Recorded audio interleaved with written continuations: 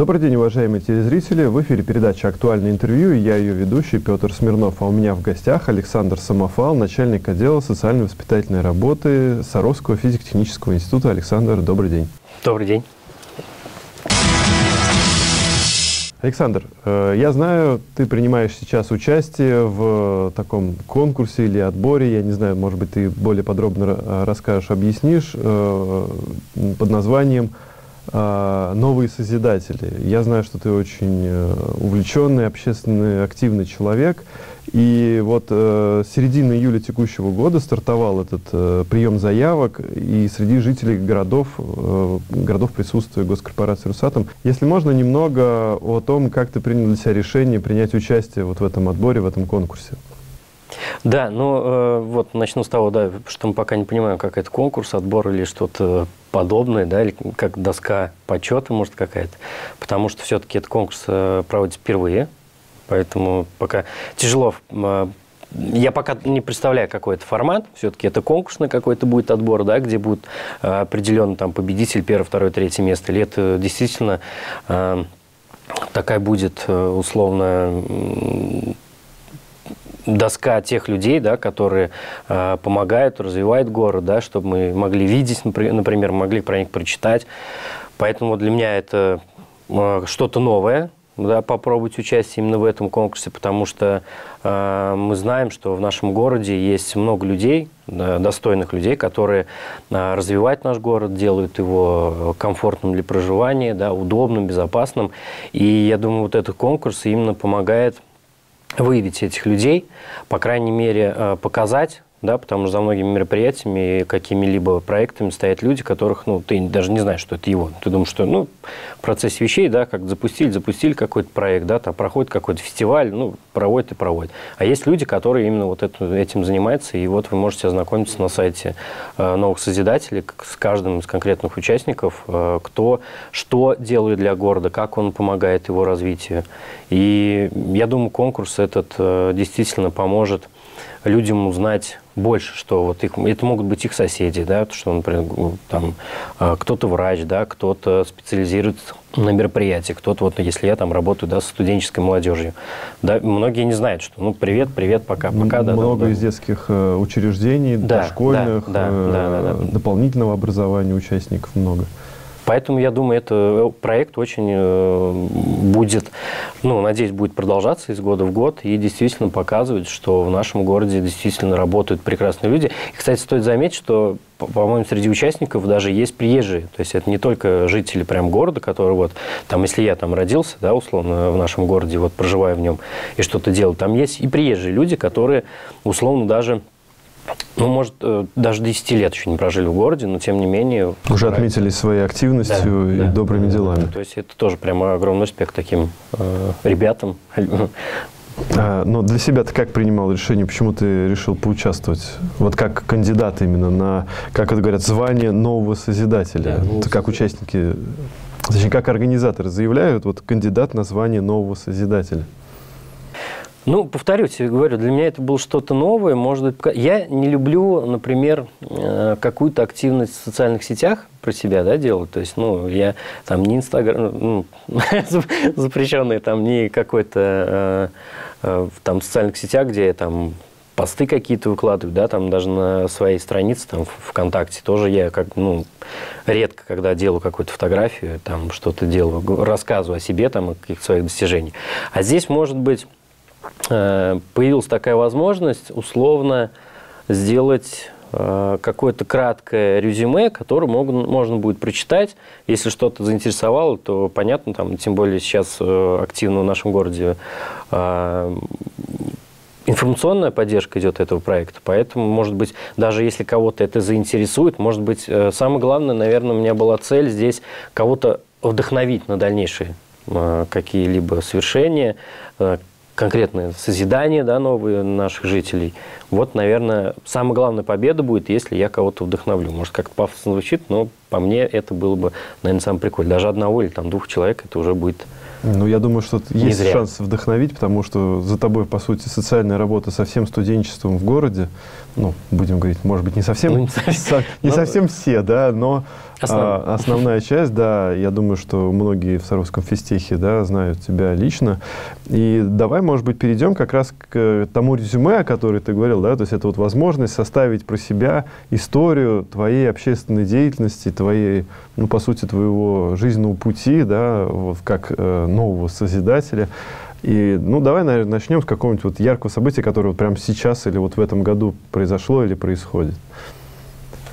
А, прям, ну, если с ярких событий, вообще их очень много в студенческой жизни, они каждый день происходят, потому что э, студенты это такая э, часть населения, да, это активная молодежь, которая э, готовы творить там здесь сейчас, да, не вот там что. Ну, в следующем году, есть, конечно, такие, да, ну, без них не обойтись, но в основном они готовы, что типа вот, мы хотим вот это, мы хотим там э, движа, да, какого-то, чтобы нам было интересно, не только там учеба дома, учеба дома. Ну, понятно, что учеба на первом месте будет оставаться, это всегда, потому что ты пришел учиться. Но, тем не менее, чтобы разнообразить свою жизнь и сделать ее э, красочной, там, яркой, да, ребята готовы делать э, различные мероприятия э, для своей там души. И я всячески их в этом поддерживаю. То есть я там не заострен определенным, что условно какого-то плана придерживаемся, что типа зачем нам вот лишнее, давайте вот идем, будем идти потихоньку по плану, там какие-то лекции там, и будем их придерживаться, и все, больше ничего проводить не будем.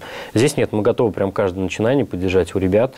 То есть вот, например, у нас в этом году продолжается это ежегодное, уже третий год подряд стала битва групп, которая проводится для первокурсников, которые, основная цель которой это вовлечь, во-первых, да, ее в общественную жизнь, какую-то творческую составляющую института и показать а, себя ну, с наилучшей тоже стороны, что человек там, а, помимо того, что он может быть будущим выдающимся там ученым, да, он еще, то есть креативный, да, где может в любом э, роли, потому что некоторые э, люди, студенты э, приходят приходя в институт, даже могут не знать, что у них есть какие-то скрытые там, творческие способности. Это даже вот на своем примере, когда я приходил в институт, я до института боялся либо вообще где участвовать. То есть, когда мне говорили, что нужно в школе там показать сказку на сцене, я думал всячески... Страх и ужас. Да. Как вообще, что сделать, я не знаю, может, на какие-то соревнования уехать, ну, вымышленные, чтобы, главное, принимать участие. Но потом вот на первом курсе что-то зацепил. Ну, зацепили меня люди, которые были там в студенческом совете, тогда он назывался.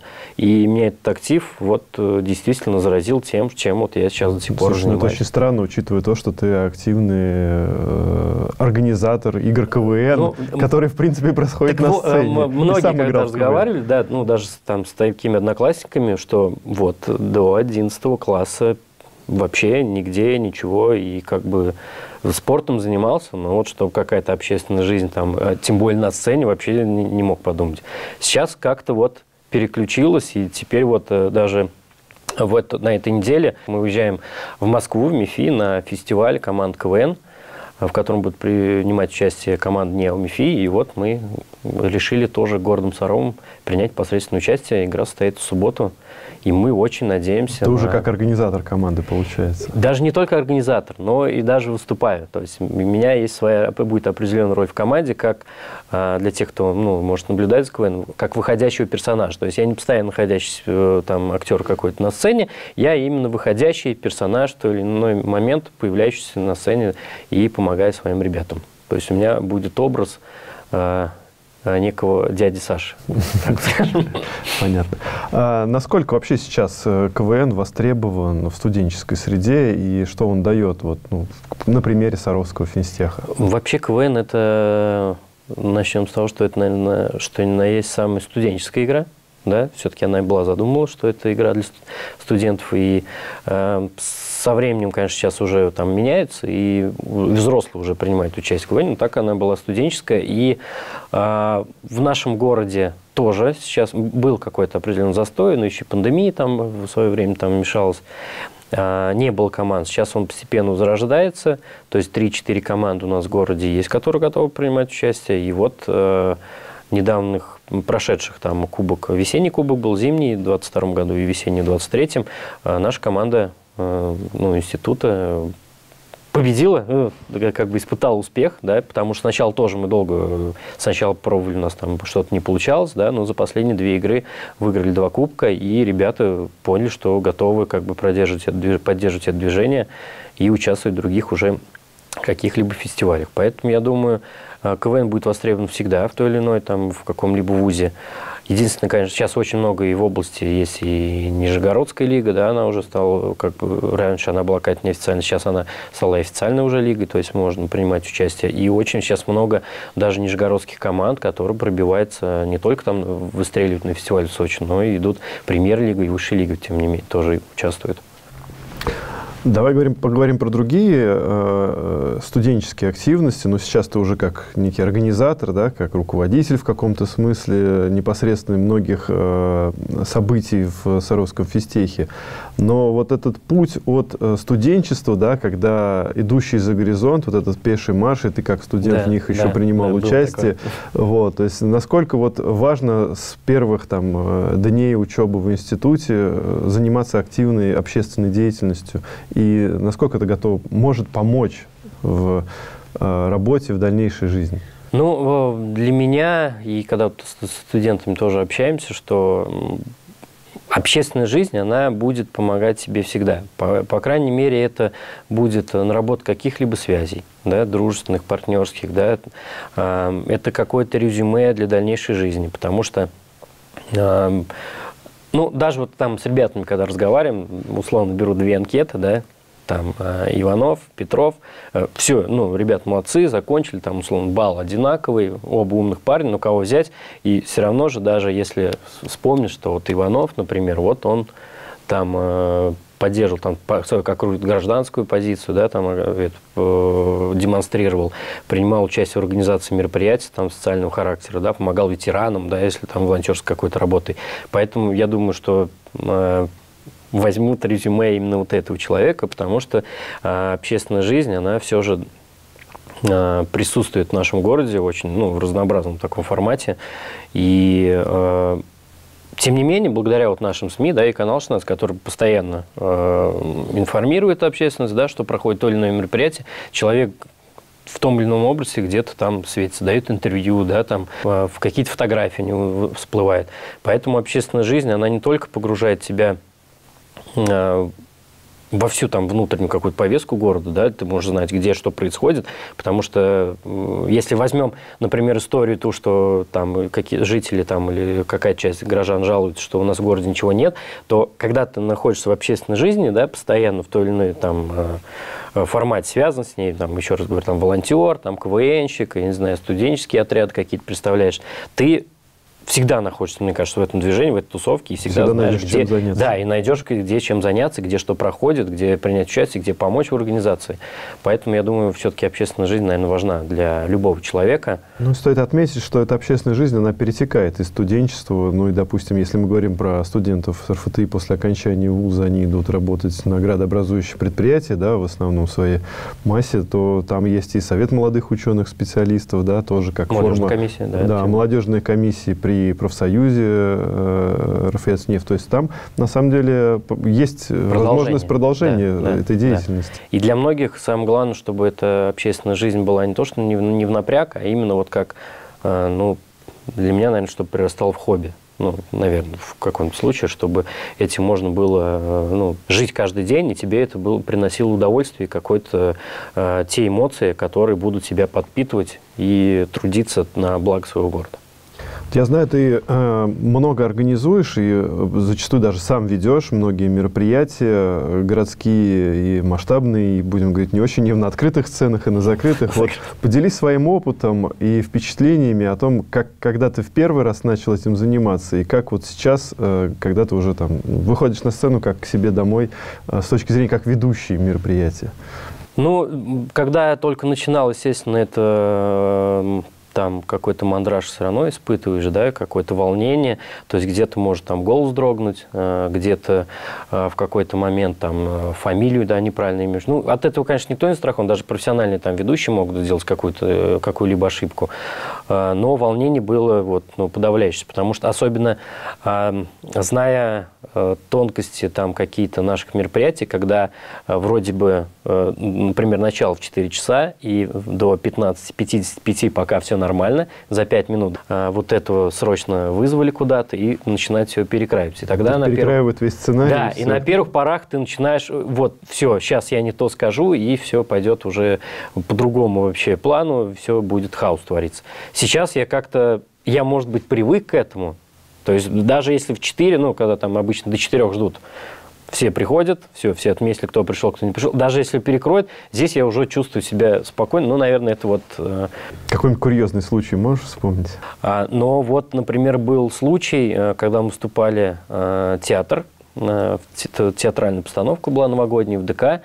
Э, мы играли у меня была роль одного из братов, сказка по щучьему велению, у меня была роль одного из братьев. У нас были такие парики, как блондины. То есть, э, и в какой-то момент я мы переодевались там в стражников, и потом в конце должны были опять выйти братьями, что-то там сказать.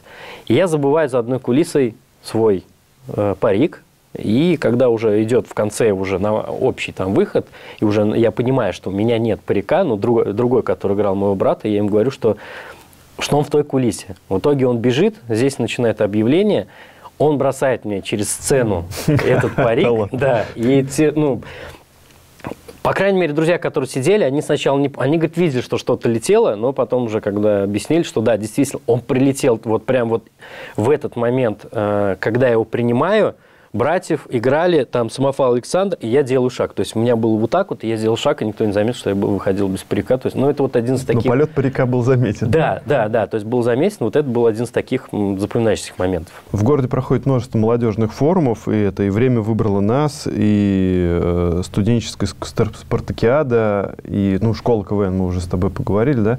А насколько важны вот эти форумы для молодежи, и какова твоя роль в их э, участии? В этих форумах? А, ну, да, форум, если вот на который, да, затронуть время выбрал нас, который городской проводит, да, на базе э, оздоровительного центра «Березка», а, он уже на протяжении многих лет, то есть я в нем принимал участие, когда был там же студентом.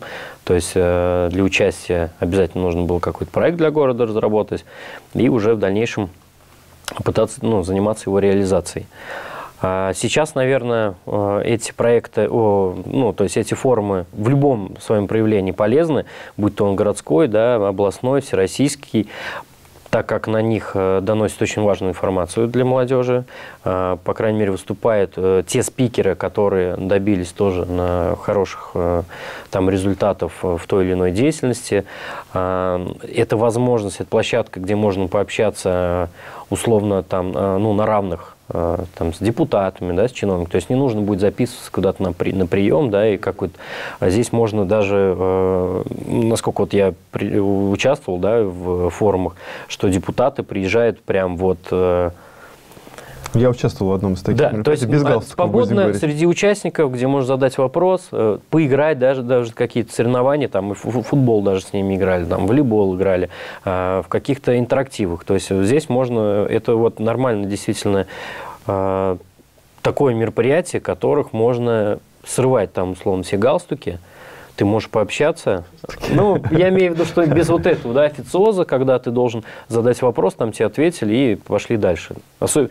Самое плохое, когда вопрос еще и подготовленный там кем-то, ну, да, условно. Да, да, да, вот. это а здесь все-таки, да, действительно, там подойти на равных, пообщаться, что-то послушать, да, взять что-то полезное для себя, чтобы ты развив... продолжал развиваться там многие а, делятся там своими успехами, да, там а, какими лайфхаками, которые тоже поценят, что типа вот там бывают такие люди, которые рассказывают там волонтеры, что основная там волонтерская, а никто не знает, что он, например, работает там врачом. Тоже интересно прослушать про этих людей и тем основные какие профессии у них являются. И Помимо этого, там, естественно, э, ну, какого-либо общения, это мастер-классы, да, какие-то лекции на тему, как создавать проект, как правильно его оформить, потому что сейчас много грантов от Росмолодежи проходит. И самая а, основная такая э, ошибка бывает именно заполнение заявок. То есть ты условно что-то где-то неправильно написал, все, у тебя заявка может быть просто пролететь. Хотя проект может быть действительно крутой. И поэтому такие форумы помогают прям держать тоже, по крайней мере, дают контакты, где ты можешь позвонить, сказать, а как вот заполнить этот раздел. Вот мы заполнили так-то, так-то, скажите, как его лучше э, модернизировать, сделать получше. Поэтому, я думаю, форумы, они важны и будут всегда пользоваться большим спросом. Одна еще из таких э, важных активностей, будем говорить такой интеллектуальной активности, да, это Кубок Сорти по игре «Что, где, когда». Я знаю, да, что есть. и в Росатоме, и в ядерном центре очень сильно развито вот это направление спортивное «Что, где, когда». Так говорят, по крайней мере. Ну, вот. сейчас много привязано да. соревнования, да. даже программирование спортивное, за которое можно э, разряд кандидат мастера, мастер спорта наш получить. Вот, то есть, э, насколько это важно вот, вовлекать именно в интеллектуальные игры э, студентов, и каково твое участие в этом проекте? Ну, здесь у меня в этом проекте, который городские кубки, кстати, у нас проходит осенний кубок по что, где, когда, в котором участвуют наши студенческие команды. Если не ошибаюсь, заявлен, заявились э, две команды Российского федерального ядерного центра, но тут с ними оговорено, что все-таки они как бы играют не зачета, да, потому что все-таки для студентов мы это Другой уровень. Ну да, потому что, да, действительно мы э, сталкивались, что когда подводим итоги, да, там э, есть э, крутые команды из ядерного центра, которые, ну, тут без шансов просто делать. И также школьная команда, в этом году еще и школьная команда старших классов тоже зарегистрировалась принять участие в нашем кубке. А, по крайней мере, каждый кубок собирает, бывало, и 20 команд. То есть тут уже по вмещаемости нашего актового зала, если бы был больше, то, может, и больше бы заявлялось команд. Здесь у нас э, был даже проект, мы в свое время писали с студентами о а, турнире ну, по интеллектуальным играм, то есть который будет включать в себя там тур «Что, где, когда», э, свои игры, квиза, то есть ну, несколько, которые будет, например, условно там, ну, в течение там, четырех часов проходиться, и лучшая команда будет награждением. То есть такой турнир выходного дня по разным видам? По разным видам, да. То есть можно заявить команду, одна команда принимает в этом части, либо это одна команда по всем. То есть мы пока еще форматом думаем, но и все-таки надеемся, что когда-то мы к этому придем, сделать прям массовый турнир городской, где будет принять участие прям и рабочая молодежь, и сотрудники ядерного центра, и школьники, и студенты, которым будем всем рады. Ну, вот также могу сказать, что понятно, что эфир там, э, ну, не резиновый, да, можно много говорить. То есть у нас э, в институте есть и вот клуб интеллектуальных игр, который занимается, помимо того, что они организуют э, ну, интеллектуальные какие-то кубки, они еще каждую субботу уча ну, в институте собираются играют в настолки. Ну, там настольные игры, которые, в принципе, это тоже как развлечение, хобби, кто-то играет. То есть организует себе досуг вот тем, кому интересно. А у нас есть студенческие отряды, в институте, которые э, по линии российских студенческих отрядов два направления. Это строительные отряды, которые, да, уже тоже неоднократно мы и показывали, да, и о них и было интервью. Педагогический отряд Адастра, который тоже занимается э, воспитательной работой с детьми напрямую. Это волонтерский клуб у нас «Бумеранг добра», который тоже участвует в различных мероприятиях города, помогает ветеранам, э, помогает и питомникам, приемникам различным, где готовы наши студенты э, прям полностью окунуться в эту деятельность. Это участие в различных э, организациях мероприятий. Волонтеры везде сейчас нужны, потому что да, это одна из такой, ну, не то что рабочей силы, но, по крайней мере, там масса людей, на которых держится прям, ну, многое. Много как... социальной работы. Да, да. Вот. Э, это есть, конечно, и какие-либо э, по робототехнике, по программированию у нас есть клубы. У нас есть э, там много спортивных сборных, да, хоккейная команда, футбольная, баскетбольная. А баскетбольная команда в этом году впервые будет принимать участие в студенческой баскетбольной лиге, которая будет проходить в Нижнем Новгороде. Хоккейная команда традиционно примет участие в студенческом хоккейном турнире областном. Э, киберспортивные команды.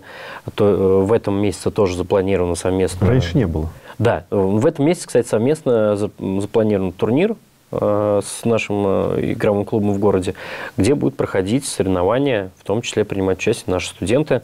Это такой первое, наверное, взаимодействие в рамках вот по киберспортивным направлениям.